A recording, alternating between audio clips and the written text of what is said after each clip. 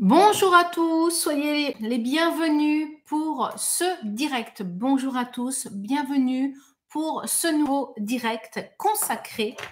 Euh, aux troubles du comportement alimentaire, pardon, et plus particulièrement, nous allons aborder le sujet de l'anorexie. Je sais que c'est vraiment un sujet qui vous tient à cœur, donc nous allons pouvoir ensemble décrypter le sujet de l'anorexie. Plus particulièrement, on va parler des trois symptômes qui ne mentent pas concernant l'anorexie. Donc, je vous emmène dans un voyage, celui qui est des troubles du comportement alimentaire, mais plus particulièrement, je vais euh, sortir des, contextes juste de définition des symptômes ou autres de euh, classiquement l'anorexie mentale, mais vous allez voir, je vais parler un petit peu aussi des figures de l'anorexie mentale. On, va parler notamment de Cécile Impératrice ou de Simone Veil.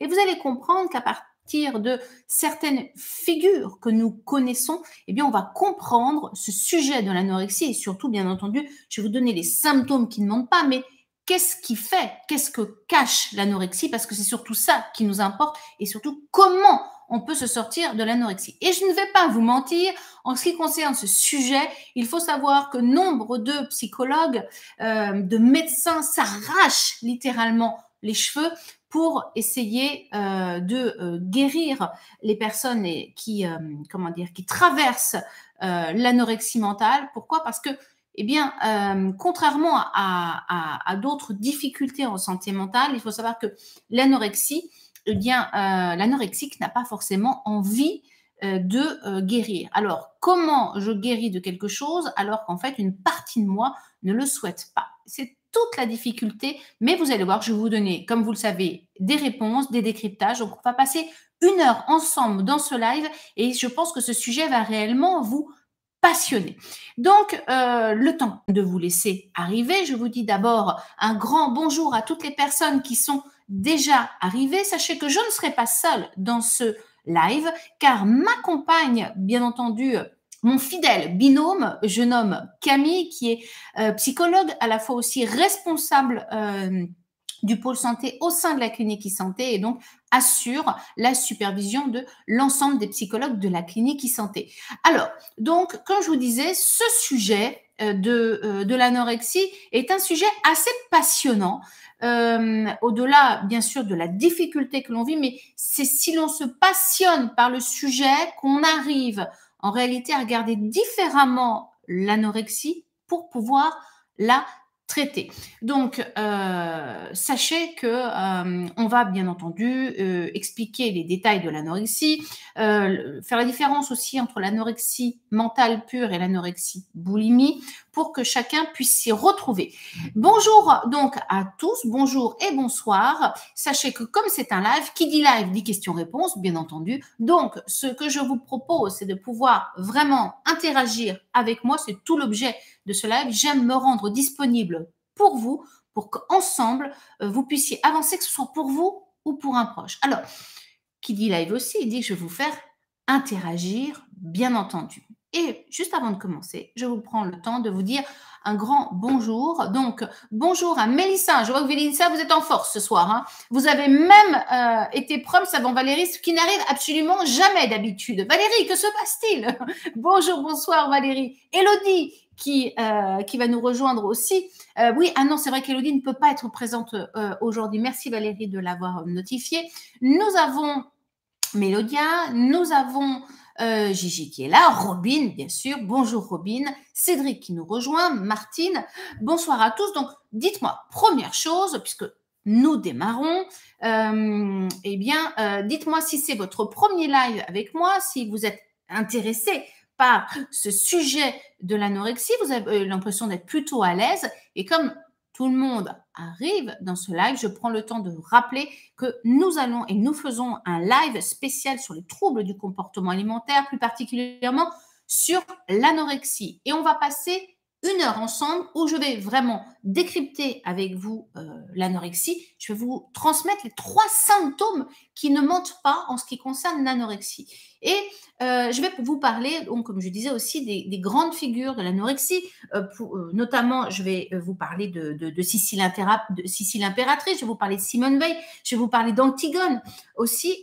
Je vais aussi faire en sorte qu'on sorte de l'étiquette de la maladie mentale en ce qui concerne l'anorexie. Parce que si on passe son temps, que, que ce soit parce qu'on on est en anorexie, on est en dépression, on est en boulimie, on est en anxiété, et c'est très important de ne jamais réduire une personne à son symptôme. Et d'ailleurs, soyez extrêmement attentifs lorsque, si, vous constatez en vous, vous avez des symptômes, eh bien, euh, est-ce que vous avez tendance à dire euh, je fais des crises de boulimie, par exemple, ou euh, j'ai une anorexie mentale, ou je suis sujet à la dépression, ou est-ce que vous dites je suis dépressif, je suis anxieux, je suis insomniaque? Lorsque on a tendance à, comment dire, à, s'incarner à notre symptôme, à s'identifier à notre symptôme, c'est beaucoup plus difficile de sortir du symptôme et de la maladie. Pourquoi? Parce qu'en fait, euh, à travers cette maladie, parfois, ou ces symptômes, euh, vous existez. Et par exemple, euh, si vous êtes sujet au, comme je disais, aux insomnies, à, la dépression, mais que c'est quelque chose que vous ressentez comme chronique ou anxieux, demandez-vous une chose, euh, qui, je serais euh, si je n'étais plus anorexique? Qui je serais si je n'étais plus boulimique? Qui je serais si je n'étais plus anxieux? Qui je serais si je n'étais plus en, comment dire, bipolaire? Qui je serais? Posez-vous cette question. C'est toujours important de se dissocier de notre problématique ou de notre symptôme. D'ailleurs, si vous êtes actuellement, par exemple, en burn-out, qui je serais si je n'étais plus, si je n'étais pas en burn-out? Et ça va vous permettre de pouvoir passer à l'étape d'après, qui est de, de, de, pouvoir vous réincarner à vous-même et non pas, comme je disais, vous réduire à un symptôme, ce que vous n'êtes absolument pas. Donc retenez cela, c'est la première chose que je souhaite vous transmettre euh, ce soir. C'est pareil, vous avez un métier, mais euh, vous n'êtes pas réduit à votre métier. Si par exemple vous êtes instituteur, vous êtes instituteur, mais ce n'est pas votre identité. Si je suis psychologue, c'est mon métier, mais ce n'est pas mon identité. C'est très important de ne pas nous réduire à notre état civil, à notre personne, à, notre euh, comment dire, à nos symptômes, à notre à notre métier. Nous sommes beaucoup plus que ça. Nous avons tellement de couleurs nous et c'est très très important d'en prendre la conscience. D'ailleurs, je vois bien là-dessus que euh, vous me vous puissiez partager avec moi, par exemple, euh, derrière derrière vos symptômes ou derrière votre métier, vous posez cette question, mais euh, qui qui je suis au-delà de cela? Ou qui auriez-vous envie d'être. Et ça, c'est important. Donc, allez-y, partagez avec moi. Et j'en profite pendant ce temps-là pour vous expliquer un tout petit peu les règles du jeu du live. Nous sommes deux en binôme avec Camille qui est avec moi, qui est psychologue au sein de la clinique euh, e-santé.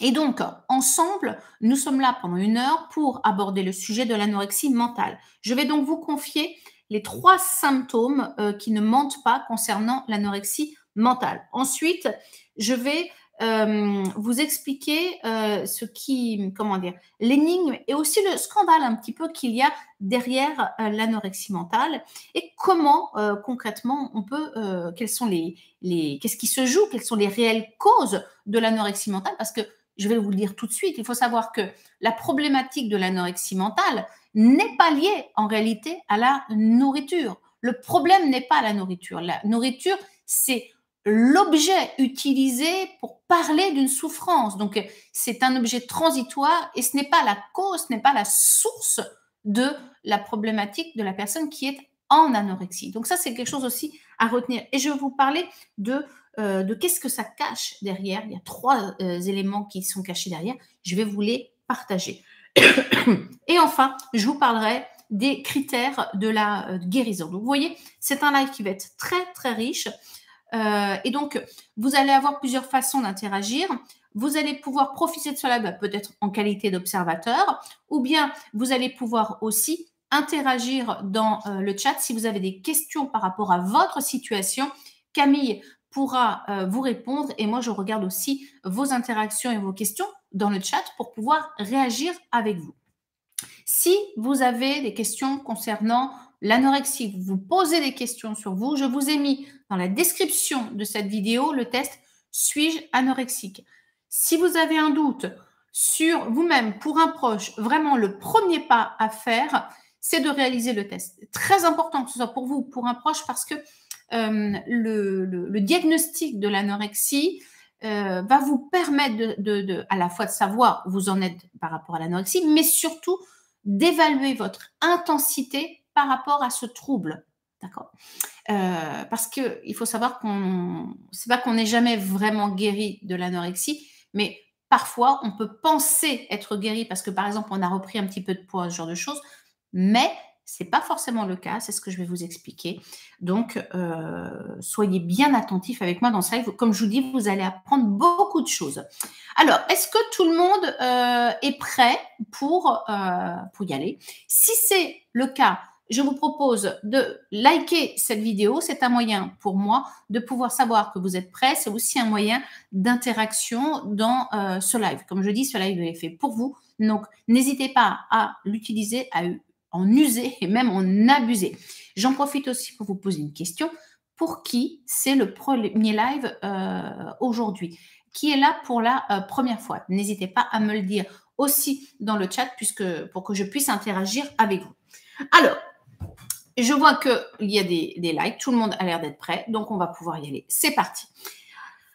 L'anorexie, déjà, je rappelle quand même rapidement ce que c'est que l'anorexie. On dit anorexie ou anorexie mentale. L'anorexie mentale, c'est euh, est conditionnée par une restriction alimentaire extrêmement sévère pendant des mois, voire pendant des années, avec derrière une forme de, plaisir à, euh, à, maigrir et surtout avoir le, le contrôle. Donc, bien entendu, lorsque l'on est en anorexie euh, mentale, euh, au démarrage, souvent, les, déclencheurs de, l'anorexie sont une restriction alimentaire, soit en quantité, soit sur certains types d'aliments, jusqu'à être dans l'incapacité de pouvoir, de pouvoir s'alimenter. Et ça, c'est vraiment une particularité euh, de, euh, de l'anorexie. Lorsqu'on est en anorexie, la plupart du temps, on, on ne se voit pas, lorsqu'on est anorexique, on ne se voit pas sombrer dans l'anorexie.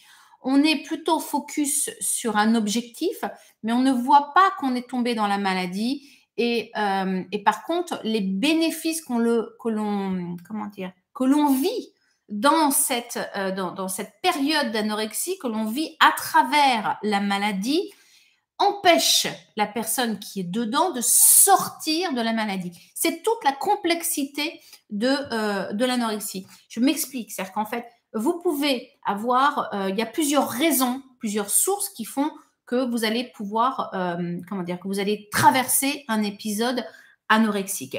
Les, les raisons peuvent être euh, individuelles, c'est-à-dire liées à, euh, un traumatisme, à un traumatisme de vie, euh, un sentiment de, perte de contrôle.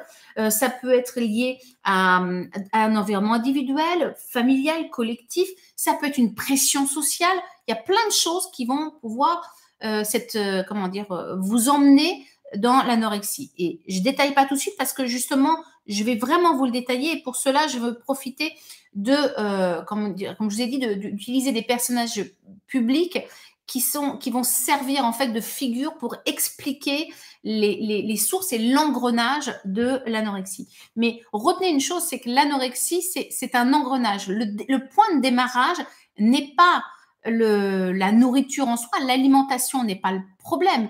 C'est la restriction de l'alimentation qui est perçue par la personne anorexique comme la, la, solution à un problème autre. D'accord? Donc, il y a une dérivation entre le problème et la façon de le traiter. Donc, si vous pensez que, par exemple, pour, pour soigner un anorexique, la seule chose à lui dire, c'est mange, malheureusement, ou de le convaincre qu'il y a un bon goût des aliments, ce genre de choses, ça ne suffit pas. D'accord Donc ça, c'est très important à retenir. Comme je vous ai dit, il y a trois symptômes euh, qui ne mentent pas. Je vous les donne tout de suite. Le premier symptôme qui ne ment pas en ce qui concerne l'anorexie, c'est ce que j'appelle le contrôle et l'obsession. Le contrôle et l'obsession, parce que lorsque on a sombré, je dis sombré parce que l'anorexie est une maladie qui est, qui est, extrêmement euh, douloureuse à la fois pour la personne qui le vit, parce qu'il y a de vrais risques pour sa santé, même si derrière, il y a une sorte de, plaisir inconscient euh, à avoir le contrôle, mais et c'est aussi très difficile à vivre pour l'entourage. Donc, le symptôme qui ne ment pas, c'est le contrôle et l'obsession. Il y a donc cette obsession de la nourriture, cette obsession du poids, cette obsession d'avoir et de vouloir le contrôle sur les choses. En réalité, le vrai contrôle que souhaite reprendre un anorexique, c'est le contrôle de sa vie. Mais, et retenez bien ça, parce que ça veut dire qu'il y a quelque chose qui a été intrusé, il y a eu une infraction euh, dans, dans, dans, dans, dans la vie d'une personne qui est tombée en anorexie. Le contrôle et l'obsession, ce symptôme du contrôle, de vouloir contrôler l'alimentation, d'une part, mais pas que ça, c'est contrôler aussi euh, ses actions, c'est contrôler euh, son comportement, c'est même parfois jusqu'à contrôler son entourage. Je ne sais pas si ça vous parle. N'hésitez pas à, me dire si ça fait écho par rapport à des situations de vie. N'hésitez pas ici à en parler. Donc rappelez-vous que le contrôle, c'est contrôle bien entendu de mon poids, de ma nourriture, de ce que je mets dans ma bouche, euh, de ce que je conserve en moi, mais c'est aussi le contrôle de mon comportement et le contrôle de mon entourage. Et quelque part, à travers cette obsession du contrôle, qu'est-ce que je cherche? Je cherche à reprendre la main, à reprendre le contrôle sur quelque chose que j'ai le sentiment d'avoir perdu. Si par exemple, je suis dans un, euh, dans, un environnement euh, de, par exemple, familial, où j'ai ce sentiment que, alors, euh, extérieurement, euh, c'est, je, je, je, suis un peu dans ce qu'on appelle la famille idéale, c'est-à-dire que extérieurement, c'est une famille qui, enfin, qui correspond euh, et qui conforme aux normes euh, sociales, mais euh, mais en fait, je ne, comment dire, si dans cette famille je suis, euh, je ne suis pas accueillie dans mon individualité, dans ma différence, dans ma singularité, eh bien, l'anorexie peut être le, la, façon pour moi de remettre en question cette cellule familiale qui, euh, pour euh, l'extérieur, est perçue comme parfaite. retenons, je, prends un exemple de, comment dire, sociétal. vous prenez des filles de, PPDA qui, euh, qui, a, comment dire, euh, qui est morte hein, d'ailleurs d'anorexie. Et, euh, et aujourd'hui, les dernières informations qu'on a eues sur, sur, comment dire, sur PPDA, sur des, comment dire, des situations de, de harcèlement sexuel, eh bien, on peut se poser des questions euh, sans que, par exemple, euh, la fille de PPDA ait vécu elle-même des choses, mais si elle a été informée, si elle a vu, si elle a observé, si elle a entendu euh, des choses, eh bien, l'anorexie devient, par exemple, la façon de remettre en question cette cellule familiale qui, pour tout le monde, est vécue comme conforme socialement, mais qui, en réalité, ne l'est peut-être pas. C'est une sorte de, de cri de SOS. Voilà. Alors, Attention, dans l'exemple que je donne, c'est une, euh, comment dire, c'est un exemple. On est d'accord? Je ne suis absolument pas en train de faire le euh, procès de PPDA et euh, de donner une, raison simpliste à, à, la, comment dire, à la situation dramatique qu'a vécue sa fille. C'est pour donner un exemple. On est bien d'accord. Il n'y a aucune, comment dire, laissons toujours à toute personne sa présomption d'innocence. Là-dessus, je suis euh, très, euh, comment dire, euh, très attentive à ce genre de choses, d'accord? Mais c'est pour donner un exemple dans des choses assez récentes que, nous avons vécues et qui peuvent nous interroger, d'accord? Donc, le contrôle et l'obsession. Autre façon d'être dans le contrôle et, et, l'obsession, Eh bien, euh, c'est cette, cette, façon que l'on va avoir de, euh, de reprendre la main sur quelque chose sur lequel on a peut-être été euh, intrusé, parce que j'ai vécu un traumatisme, parce qu'il y a eu un deuil que, auquel je n'ai pas réussi à faire face, parce que j'ai eu une difficulté à, à trouver ma place. Et, euh, et, du coup, l'anorexie devient le cri SOS pour essayer de reprendre le contrôle sur quelque chose qui, dans mon extérieur, n'est pas possible. Deuxième symptôme euh, qui, ne, euh, qui ne me trompe pas, qui ne ment pas en ce qui concerne l'anorexie, c'est ce que j'appelle l'effet de cache-cache. Il faut savoir qu'à partir du moment où on est dans l'anorexie, il y a une chose, il y a une double langue que l'on apprend très vite, c'est le mensonge. Euh, un bon anorexique qui se respecte, obligatoirement, euh, est un menteur accompli. Attention, c'est absolument pas de sa faute, ok? Le mensonge, c'est ce, ce par quoi l'anorexique est obligé de passer pour continuer à être dans une restriction alimentaire extrêmement sévère et pour qu'on lui foute la paix, entre guillemets. Donc, l'anorexique, il va redoubler d'ingéniosité pour vous faire croire qu'il a mangé alors qu'il n'a pas mangé, euh, pour euh, jouer le, jeu de la confusion avec son entourage. Et en même temps, c'est un moyen, là aussi, d'avoir la maîtrise, de garder le contrôle de, de ses choix, de sa vie, de ses demandes, de ses besoins. Donc, ce cache-cache, pareil, dites-moi si ça vous parle. Euh, le cache-cache, ça peut être euh, euh, aussi le... Parce que dans l'anorexie, il y a la restriction alimentaire, bien entendu, mais il n'y a pas que ça.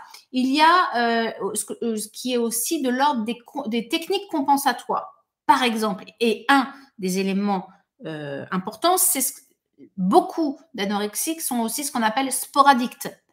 L'obsession du sport, l'addiction au sport. C'est la pratique du sport, de l'activité physique euh, de façon excessive. Pourquoi D'après vous, bah, bien entendu, pour contrôler le corps, pour contrôler le poids, pour contrôler la maigreur.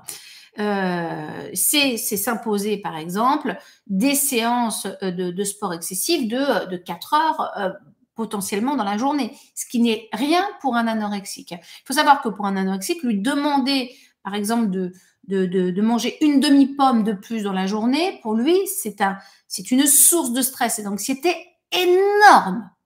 D'accord? Énorme.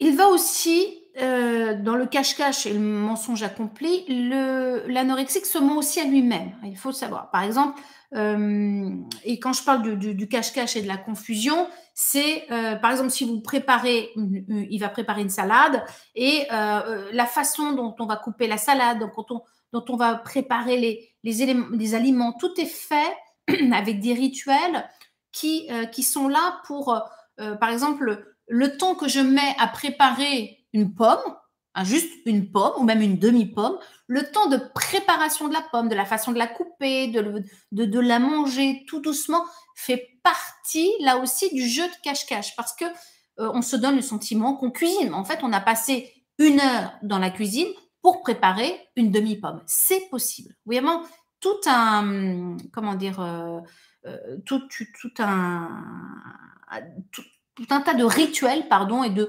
routines sont, mis, euh, sont mises en place. Comme je le dis, attention, euh, là je donne les, symptômes, je donne la façon dont vous pratiquez en tant qu'anorexique. Euh, pour vous, ou même ou pour un proche, il y a dans mes explications aucun. Je parle des faits et je ne parle pas de jugement. Lorsque je dis par exemple on est un monteur accompli, lorsque on est anorexique, c'est pas un désir de mentir, c'est une sorte de mécanismes de défense que l'on développe pour pouvoir euh, être en capacité d'être dans, dans notre euh, comment dire euh, dans nos rituels et nos, routines sans être gêné par l'autre. Bien entendu, il faut savoir qu'en tant qu'anorexique, on est le premier à souffrir de tout cela. mais c'est le seul moyen de garder le pouvoir. Et ça, c'est. Donc, il faut savoir qu'un anorexique est souvent quelqu'un de très anxieux parce que tout est source de stress, de conflit avec, avec l'environnement, avec soi-même. Et c'est épuisant. Je veux dire, quelqu'un d'anorexique, c'est vraiment, euh, euh, c'est un, une course contre la mort euh, et c'est un peu le, comment dire, le, jeu de, du, contrôle de tous les instants, vraiment. il y a le troisième symptôme qui ne ment pas en ce qui concerne l'anorexie, c'est le secret. Le secret, euh, et là je vais prendre quelques, quelques instants pour vous expliquer ce qu'il y a derrière le secret. Et c'est d'ailleurs le symptôme pour moi presque prioritaire sur le reste. C'est que là où il y a anorexie, il y a un secret. D'accord? Alors, je vais enlever les, les, les, causes génétiques. D'accord? S'il y a une partie génétique, euh, les cas sont, rares, mais ça arrive. Et là, je, l'extrais du côté du secret. D'accord? Mais, donc là, s'il y a des personnes avec des raisons génétiques, je, ne vais pas l'aborder ce soir. D'accord? Aujourd'hui. donc, derrière l'anorexie, et retenez bien cela, il y a un secret. Et un secret lourd à porter. Et l'anorexie, imaginez que l'anorexie mentale est la seule réponse que vous avez trouvée pour faire face à ce secret. Ça veut donc dire à quel point vous souffrez et que ce secret est euh, vécu pour vous de façon extrêmement violente et souffrante. Pour euh, parler de ce secret, euh, je vais donc du coup le faire à travers des, personnages connus ou publics ou historiques ou euh, même des, archétypes, entre guillemets. D'abord une chose, il faut savoir que, comme je dis, il y a le secret. Et le secret, je vais euh, en parler à travers trois axes. Le secret peut donc cacher derrière euh, une énigme ou un scandale, on peut dire. Individuellement, si c'est une, si une cause individuelle liée à soi, c'est euh, il y a une volonté euh, d'autosuffisance, une volonté de se suffire à soi. Et le secret, donc, c'est de se dire que si je veux une maîtrise totale sur mon corps, cette volonté d'autosuffisance, si je veux une maîtrise de mes besoins, de mes sentiments, si je veux une maîtrise de mon alimentation, si je veux une maîtrise de ma sexualité, si j'ai un, je suis dans un déni farouche même de mon mal-être, c'est à la mesure de, euh, de, mon, secret. C'est à la mesure de ce qu'il y a derrière ce secret, donc la source. Lorsque on est euh, sur des, éléments, comme je disais, euh, familiaux, c'est souvent, on peut aller creuser, des environnements où on a, comme je disais, des, familles qui sont extérieurement conforme aux normes sociales, mais si on gratte un peu, euh, on va y trouver autre chose. Ça peut être, euh, et pas forcément des drames, euh, comment dire, comme par exemple le, viol, l'inceste, c'est pas forcément que ça, mais ça peut, ou, la maltraitance. Ça peut être par exemple une famille extrêmement, qui socialement est, est vécue par l'extérieur comme parfaite, entre guillemets, en tout cas correspondant aux normes, mais l'anorexie qui va remettre en question cette cellule familiale, peut-être parce que tout simplement, euh, la, personne que je suis n'arrive pas à trouver sa place dans cette famille. Et, la place, ça peut être lié au fait que euh, tout, l'environnement familial ne me permet pas d'exprimer ma singularité. Si par exemple je suis dans une famille euh, d'extrémistes de, quelque chose et que je ne me reconnais pas là-dedans, l'anorexique est un moyen pour moi, euh, comment dire, de, remettre en question cette cellule familiale et son fonctionnement là où, je ne peux pas le verbaliser, là où je ne peux pas le dire. Là aussi où il y a une autre forme de, euh, comment dire, euh, de mise en route, de mise en place de l'anorexie, c'est dans des environnements collectifs lorsque on, a du mal avec le, comment dire, les sociétés euh, euh, d'abondance. On retrouve ça parfois dans certaines classes sociales élevées où, où, il y a un, vrai conflit avec euh, ce sentiment d'être dans une, une, famille avec cette notion d'abondance.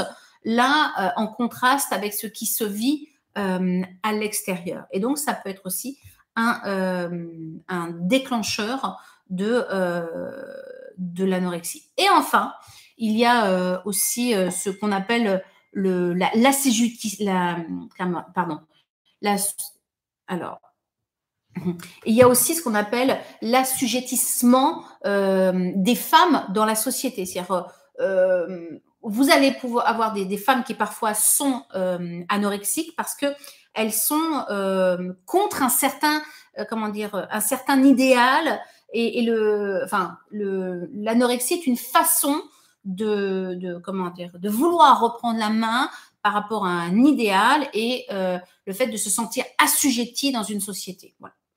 Euh, on peut le retrouver aussi, euh, j'ai mis sur les causes féministes, mais par exemple, LGBT, euh, dès qu'on a le sentiment d'avoir été stigmatisé, et l'anorexie peut être une forme de, de, réponse, là où on a le sentiment qu'on ne peut pas être entendu, c'est-à-dire que là, on ne peut pas parler.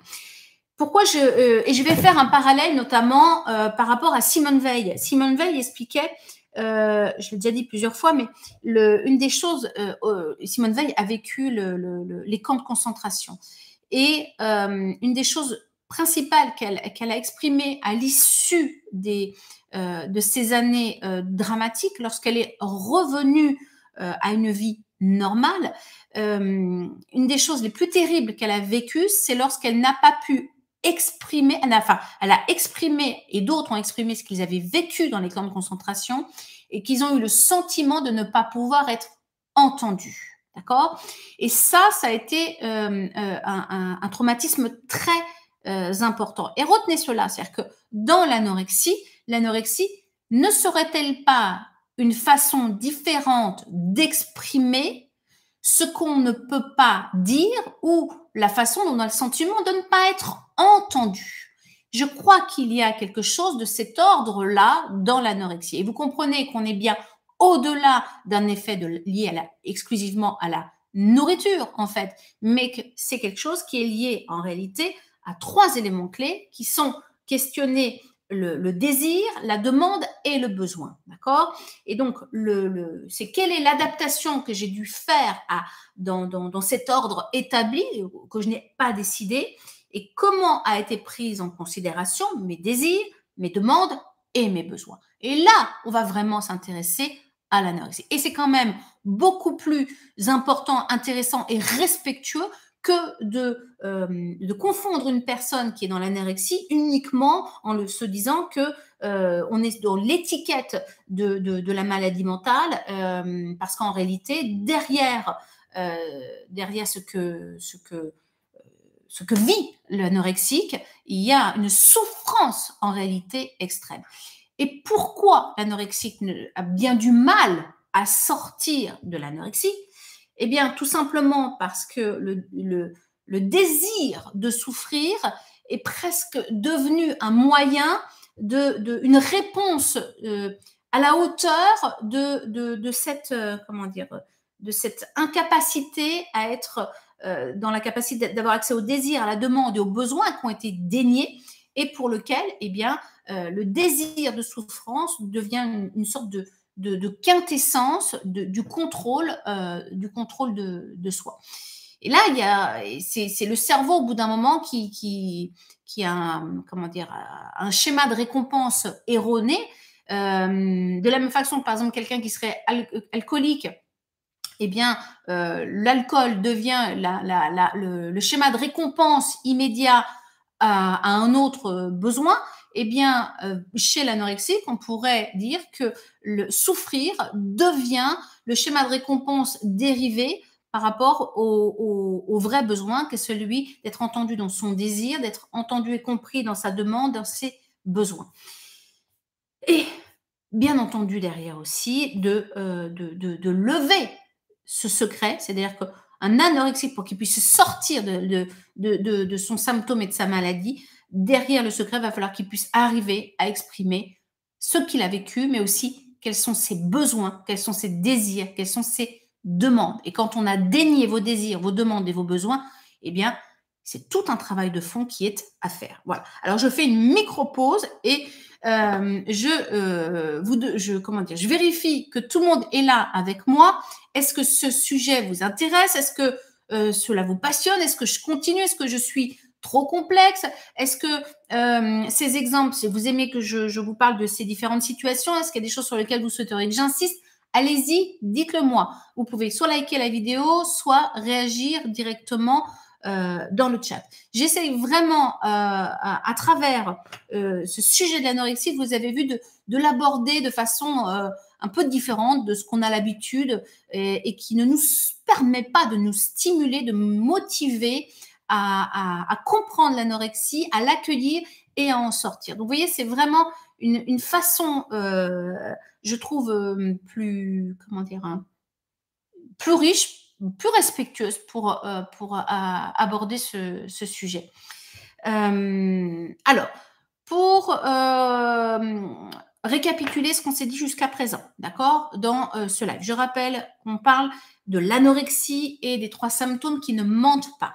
J'ai parlé dans un premier temps du contrôle et de l'obsession.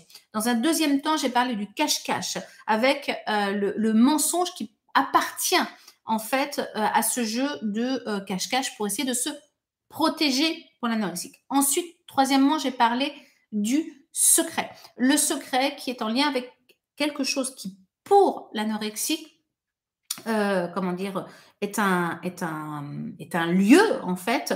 L'anorexie devient un moyen, de, un mécanisme de défense par rapport à, un secret qui est vécu chez, euh, chez euh, l'anorexique. Et pour cela, quand j'ai parlé de, de, l'anorexie, j'ai donné les, les, causes individuelles, les, euh, les causes, enfin les sources individuelles, les sources familiales et parfois les sources collectives. Et bien entendu, l'anorexie s'exprime de façon différente en fonction de, de, de, de des sociétés dans lesquelles on vit.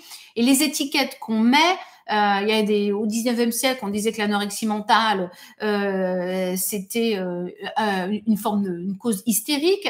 Et aujourd'hui, on va parler de l'anorexie mentale comme une cause de surconsommation. En tout cas, en réalité, ce sont des étiquettes qui sont mises. Et j'aimerais qu'on se défasse vraiment de l'étiquette que l'on met sur, sur cette maladie mentale qui euh, qui enferme et qu'aujourd'hui ne nous permet pas euh, d'accueillir, de comprendre ce qui se passe. En réalité, l'anorexie mentale, je vais vous dire une chose, on en parle aujourd'hui, on en parlera dans, dans, dans, 10 ans, dans 50 ans, dans 100 ans.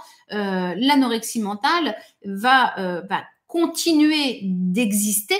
Pourquoi? Parce que c'est un, mécanisme qu'a euh, à sa disposition votre corps et votre cerveau pour exprimer une souffrance extrême, un mal-être et euh, donner, euh, j'ai envie de dire, un coup de projecteur, des micros qui sont là euh, très forts, avec même carrément le, comment, on, appelle ça, je ne sais plus ce qu'on appelle le, le nom, je ne sais même plus comment ça s'appelle. Bref, c'est pas grave.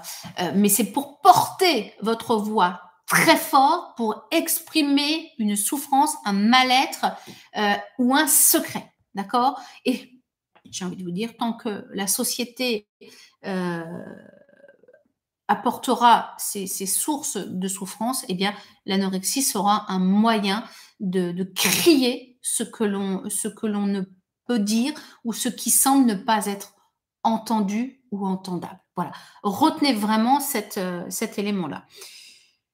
Il y a donc derrière l'anorexie un message et une revendication. Le message, c'est SOS, alerte, j'ai besoin euh, d'être entendu.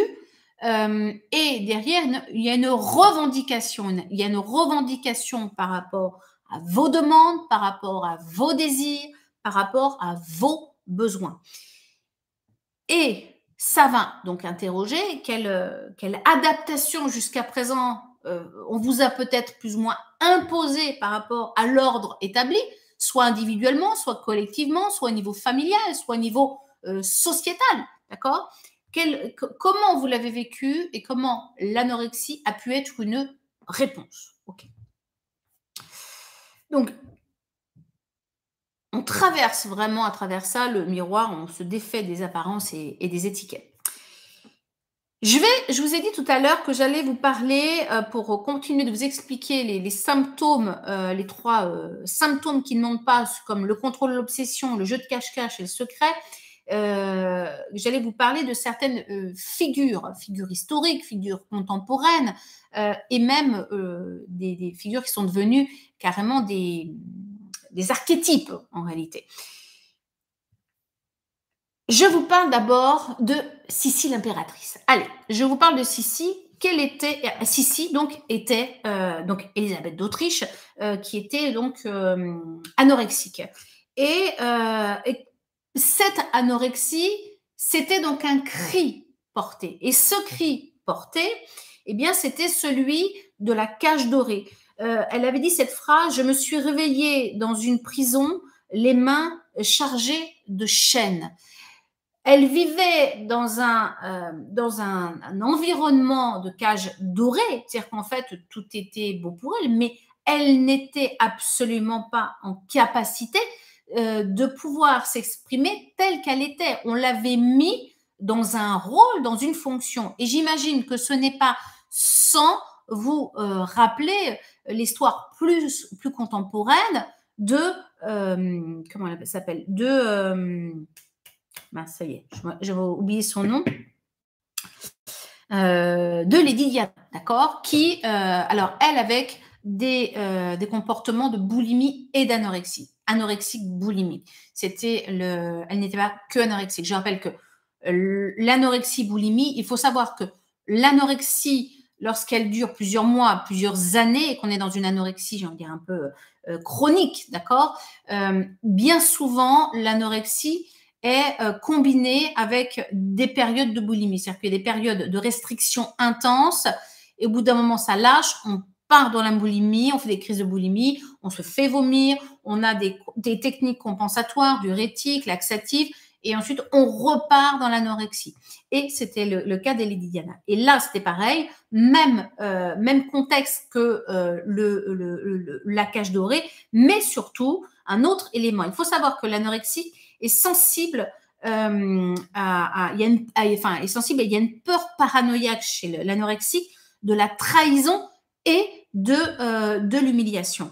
Et là, pour Lady Diana, combo gagnant, bien entendu, trahison par rapport à l'idéal qu'elle avait construit et humiliation quotidienne par rapport euh, à une, comment, cette autre femme du ménage à trois qui a été euh, le, quotidien de Lady Diana et surtout cet isolement auquel elle a fait face au sein de, de, la famille d'Angleterre pour lequel elle a eu ce sentiment de ne pas être écoutée, de ne pas être entendue. Et donc le contrôle et l'obsession par l'anorexie est un moyen de reprendre le pouvoir sur sa vie, euh, pouvoir euh, qu'elle n'avait plus, puisque de toute manière, elle était objetisée. D'accord? Et il y avait un lourd secret, puisqu'elle ne pouvait pas parler. Je pense que ça fait écho et vous allez pouvoir faire plein d'échos dans, dans, dans, votre, euh, dans votre vie à vous. Parlons maintenant euh, d'Antigone. Antigone, on est cette période de, on parle de, l'Oedipe roi euh, et, et, dans l'histoire d'Antigone, il y a aussi le fameux euh, secret de famille avec l'inceste, avec l'incestueux et en plus cette idée de sacrifice. Et on retrouve chez nombre de personnes aujourd'hui anorexiques des personnes qui sont dans un environnement incestueux ou incestuel. La différence entre les deux, c'est l'incestueux, il y a passage à l'acte dans l'environnement familial. Incestuel, c'est un climat, c'est-à-dire qu'il y a une ambiance incestuelle sans passage à l'acte, d'accord? Mais quand on est dans un climat familial incestueux ou incestuel, euh, avec ce sentiment du secret de ne pas pouvoir parler euh, parce qu'on vous impose ce secret, l'anorexie, il faut savoir que euh, c'est une, réponse, euh, euh, c'est terrible de le dire comme ça, mais classique lorsqu'il y a eu inceste familial ou lorsqu'il y a eu viol, harcèlement sexuel. Dès qu'il y a eu dans votre vie, s'il y a eu dans votre vie, dans votre entourage, ce qu'on appelle cette, cette intrusion, cette effraction de vous, soit physiquement, soit psychiquement, l'anorexie est, un grand classique de réponse. Euh, pourquoi? Parce que la mesure de l'anorexie, c'est ce pouvoir, de, le vouloir reprendre le contrôle sur soi, là où on nous a complètement, euh, on, a été en effraction avec nous, et en même temps, euh, ce moyen conscient de, à la fois contenir le secret, mais en même temps de faire un énorme cri de SOS pour montrer au monde la souffrance que l'on vit à l'intérieur. Euh, vous comprenez à la fois comment en fait ce sujet est absolument très important euh, et qu'on est bien au-delà de, seulement euh, poser ses aliments, la nourriture, l'alimentation, c'est bien au-delà. Euh, et les anorexiques sont, des personnes bien souvent extrêmement intelligentes, hein, intelligents ou intelligentes, enfin des personnes intelligentes, vraiment. Il y a, des hommes et il y a des femmes hein, dans l'anorexie, il n'y a pas que des femmes. Troisième euh, figure dont je vous ai parlé, c'est euh, donc, euh, donc Simone Veil, avec chez Simone Veil, bien entendu, l'effraction, le, l'intrusion, l'humiliation, la, confrontation à la mort, mais c'est pas ça qui crée l'anorexie. Ce qui crée l'anorexie derrière, c'est le, traumatisme du pourquoi avec cette notion d'affront-mensonge au monde, en fait. Hein, c'est pourquoi. Et cette non-réponse, cette réponse impossible à ce pourquoi, euh, ou, d'ailleurs, en, reprenant, je reprends les mots de, de Simone Veil qui disait l'effet principal du malheur est de forcer l'âme à crier pourquoi. Voilà. Et c'est vraiment, enfin, je voulais remettre cette phrase parce qu'elle met en écho euh, ce, qui, euh, ce qui se joue. Et donc, c'est une anorexie qui est déclenchée à la fois par le traumatisme de ce qui est vécu, mais quand je dis le traumatisme du pourquoi, c'est aussi derrière tout cela la perte du sens. D'accord? Et, euh, et donc, là où on perd le sens, l'anorexie est à la fois le cri pour exprimer son désir, sa demande, son pourquoi des choses, et en même temps la possibilité de, euh, de pouvoir reprendre le contrôle et le pouvoir sur les choses. C'est vraiment ce que je, je, souhaitais que vous puissiez euh, retenir par rapport à, comment dire, à ce sujet sur, euh, sur l'anorexie. C'est, c'est vraiment des éléments clés qui permettent d'avoir un regard tout à fait différent sur ce qu'est réellement l'anorexie, comment elle s'impose à nous et comment c'est si difficile d'en sortir parce que en même temps, on a ce sentiment qu'à travers l'anorexie, c'est le seul euh, média qu'on a trouvé pour pouvoir être entendu, pour être vu dans notre souffrance et dans notre mal-être. Alors, comment, euh, comment on se soigne derrière tout ça de, l'anorexie, comment on peut euh, euh, remettre tout cela en mouvement? C'est vraiment, plutôt que de se reposer la question exclusivement du poids, c'est permettre à l'anorexique de d'être d'aller en quête d'une autre vie, d'accord?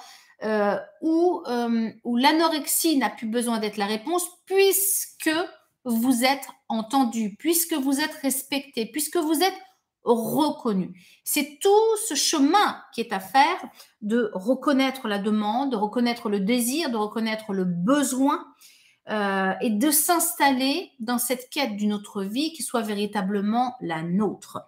Avec bien entendu aussi les réparations liées euh, au secret, au traumatisme de vie, les réparations liées à, ces fonctionnements de mécanismes de défense, de contrôle obsessionnel qu'il va falloir arriver à, comment dire, à rééquilibrer et, euh, et lâcher le mensonge euh, du cache-cache vis-à-vis de soi, vis-à-vis des autres, par la première chose qui est de se d'être dans la vérité avec soi pour être dans la vérité avec euh, l'autre. Parce que c'est l'endroit, quand je suis dans la vérité avec moi, je ne me mens plus, je me respecte. Et c'est la première chose que, dont a besoin une personne anorexique, c'est de retrouver euh, le respect de soi. Et donc, lâcher euh, le, mensonge est une, comment dire, une des plus belles choses pour pouvoir retourner à la, quête de soi.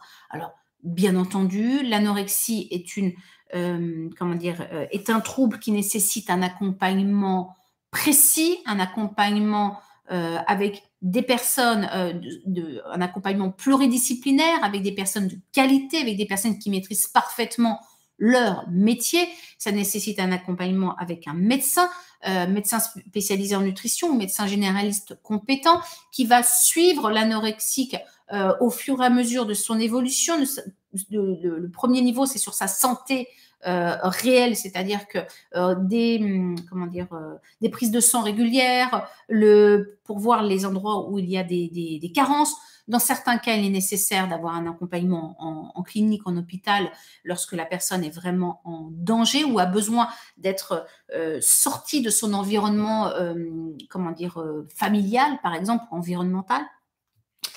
Et bien entendu, vous, aurez bien compris que le centre de la guérison va se faire euh, au niveau du suivi en psychologie, le, suivi en psychothérapie qui va permettre à la personne de pouvoir pas à pas se sentir reconnue, entendu, apprendre à regérer le volume du contrôle par une meilleure maîtrise, c'est-à-dire là où on était dans le contrôle de tout, que ce soit le contrôle de son corps, de ses besoins, de ses sentiments, de son alimentation ou même de sa sexualité, et, qui avait un déni farouche de son mal-être, ça va être d'accueillir sa souffrance, accueillir son mal-être, pouvoir se libérer du secret, être dans, dans, dans l'apprentissage de la maîtrise et l'accueil de ses besoins, de ses sentiments, et euh, tout ce travail va se faire pas à pas avec un protocole, avec un psychologue spécialisé dans, euh, dans les troubles du comportement alimentaire et de l'anorexie, mais aussi de la gestion des émotions. Parfois, et, la psychothérapie intégrative est absolument indispensable parce qu'il va falloir y aller euh, par différents chemins. On réintègre notamment aussi beaucoup le psychocorporel, la gestion des émotions, tout ce qui va être la thérapie de l'acte, la thérapie du secret, parfois un travail transgénérationnel pour aller voir où est-ce que euh, peut y avoir aussi des causes un peu euh, euh, épigénétiques dans, dans, dans, votre arbre de vie.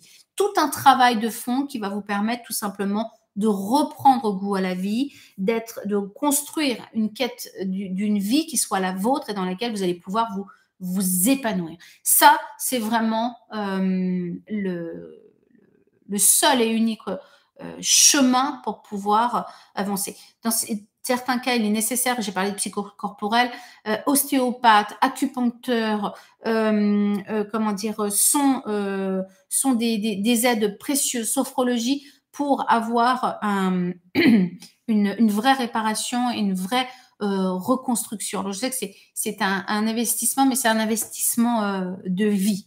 Voilà.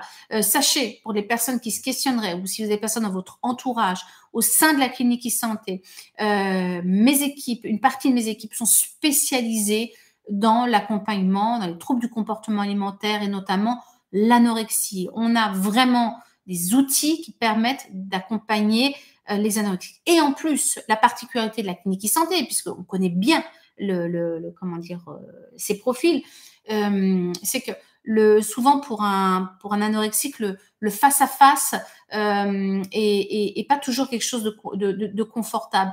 Et, le fait d'utiliser, euh, comment dire, de, l'avoir sur son téléphone, son ordinateur, sa tablette, d'utiliser beaucoup la, thérapie digitale et par message, c'est un, outil, un vecteur extrêmement puissant, euh, très utile, très efficace et très apprécié pour les personnes anorexiques. Voilà. Donc vraiment, euh, sachez que vous n'êtes pas seul. Et le premier pas que vous pouvez faire maintenant, que ce soit pour vous ou pour un proche, c'est d'évaluer l'intensité de votre trouble anorexique. Où est-ce que vous en êtes? Si, si, si, vous y êtes encore, si vous êtes guéri, est-ce qu'il y a une rechute? Que ce soit pour vous, pour un proche, c'est le premier niveau. Sachez en tout cas que vraiment, je, je suis une spécialiste de, euh, du sujet de l'anorexie. S'il y a bien un sujet sur lequel je, je peux aller avec vous en profondeur, vous accompagner et, euh, et vous serez soutenu par les psychologues euh, qui, qui, travaillent avec moi au quotidien, que ce soit pour les exercices, tout ce qu'il faut, sachez que vous serez pris en main. Et euh, la seule chose que j'ai besoin, sachez que c'est le premier pas que vous allez faire. Je le sais très bien quand, quand on est en anorexie, il y a ce moment où on, on sent qu'il faut y aller et ensuite, euh, comment dire, euh, on, a des risques de décrochage.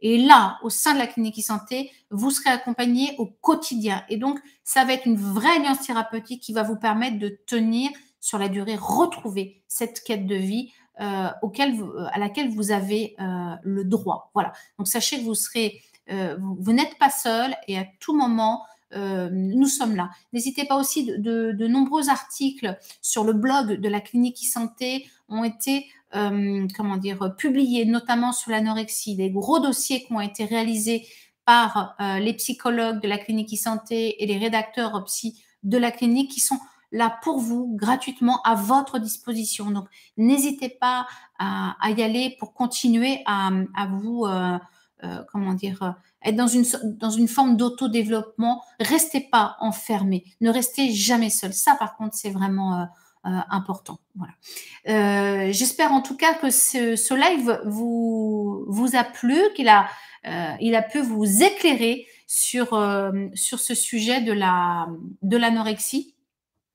Je rappelle les, les, trois symptômes qui ne trompent pas concernant l'anorexie sont donc, comme je vous l'ai dit tout à l'heure, vous sachez donc trois choses avec lesquelles je vous, vous repartiez le contrôle et l'obsession, le cache-cache, le cache-cache, pardon, avec le, mensonge qui est derrière, le secret. Ça, c'est première chose. Et sachez que euh, derrière l'anorexie, derrière le trouble de l'anorexie, se cache un message, une revendication, celle d'un désir ou d'une demande ou de besoin qui n'ont pas pu être entendus, qui ont été déniés, qui ont été trahis avec de l'humiliation derrière.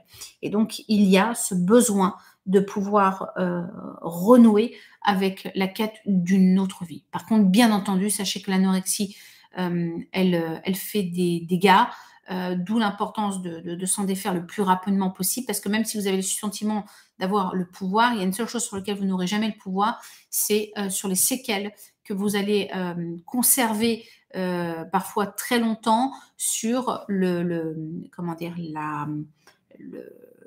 les séquelles liées à, à, l'impact physique et psychologique qu'a l'absence ou la restriction de nourriture sur, euh, sur votre corps. Donc sachez que euh, on peut réparer, mais le plus vite possible, mieux ce sera.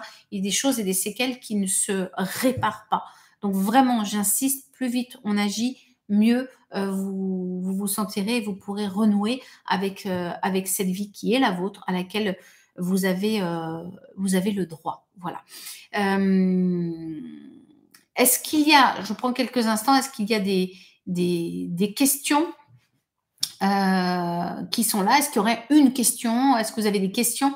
Et euh, auxquelles je pourrais, euh, je pourrais répondre. Même si je sais que depuis le début, Camille est avec moi dans, le chat et a répondu et a, interagi avec vous par rapport à, à vos questions, vos commentaires. Est-ce qu'il y a une question, des questions que vous auriez par rapport à votre situation que vous souhaiteriez me poser? Ou alors si vous avez des questions aussi par rapport à parce que vous avez envie, besoin d'être suivi au sein de la clinique e-santé, que vous posez des questions sur le, choix du psychologue, n'hésitez pas à me poser ces questions pour que je puisse vous aider et vous donner les meilleures euh, recommandations. Euh, alors, je regarde s'il y a des, dernières questions qui seraient là. Euh, bien, c'est bien parce que je vois qu'en fait, euh, vous, vous, êtes très interactif et tout le monde a pu euh, répondre. Je, euh, je vais clôturer ce, live. Euh, N'oubliez pas, dire, première chose à faire, le test, d'accord? Le test sur suis-je anorexique qui vous permet d'avoir le, premier niveau d'évaluation, de savoir où vous en êtes et, euh, de, connaître l'intensité de votre trouble. Sachez aussi que depuis le, le site de la clinique e-santé, depuis l'application, vous avez aussi accès à plus de 40 autres tests qui sont en accès libre et public qui vous permettent de faire votre autodéveloppement. Parce que derrière l'anorexie, bien souvent, il y a de l'anxiété, de la dépression, euh, d'autres troubles du comportement alimentaire. Et c'est bien d'aller faire un petit peu son, son, auto-bilan pour savoir où vous en êtes. Et sachez qu'on fait tout ce qu'il faut au niveau de la clinique e-santé pour que vous puissiez vivre euh, cela de façon autonome, libre et même gratuite aussi. Euh, voilà. Eh bien, je vous embrasse. Je vous dis à très vite pour un nouveau live. Pour les patients de la clinique euh, e-santé, bah, bien entendu, euh, si vous avez des questions par rapport à votre suivi, vous n'hésitez pas à en parler avec votre psychologue pour, comment dire, pour avancer sur le sujet. Et n'hésitez pas donc à faire le, le, test sur votre, depuis votre espace patient par rapport à votre niveau d'anorexie. Voilà, je vous embrasse et je vous dis à très vite. Merci beaucoup. Merci à toi Camille pour euh, ton accompagnement euh, dans euh, ce live et je vous dis à très vite à tous. Prenez bien soin de vous, je le dis à chaque fois, faites-le parce que personne ne le fera mieux que vous, vraiment. Je vous embrasse. Merci à tous. Robin, Valérie, Solène, merci Gabrielle, Jacqueline, Sandrine qui est là. je m'excuse si j'ai oublié des personnes. J'ai vu qu'il y avait, alors, alors, alors, Fatima, il y avait Amel, Nina. Eh bien, merci à vous tous et je vous dis à très bientôt. Au revoir.